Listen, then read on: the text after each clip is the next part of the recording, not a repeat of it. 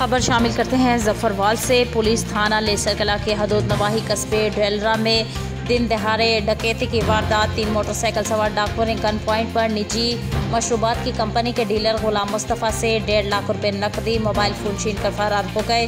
डकैती का वाक़ नवाही कस्बा डेलरा में पेश आया। मुजाहमत करने पर डाकुओं ने फायरिंग कर दी। ताजर महफूज रहा, ताहम गोली गाड़ी की बॉडी पर लगी, जिससे इलाके में खौफ हरास फैल गया। सर्कल जफरवाल भर में आए रोज़ दिन दिहाड़े।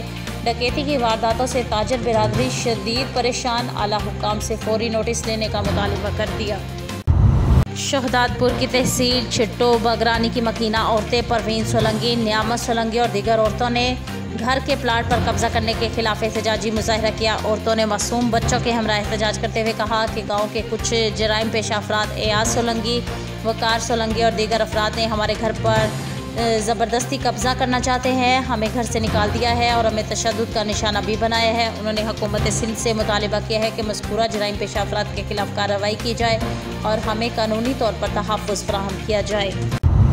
जफरवाल नवाही गाँव लंगूके में सबका शोहर ने खतून को कत्ल कर दिया। सबका शोहर ने चार बच्चों की माँ को फायरिंग करके कत्ल किया। रोबीना बीबी ने हाल ही में अरशद नामी शख्स से तलाक ली थी, जिसकी रंजिश में अरशद ने फायरिंग करके रोबीना बीबी की जान ले ली। पुलिस थाना जफरवाल ने मौका पर पहुंचकर कार्रवाई का आगाज़ कर दिया।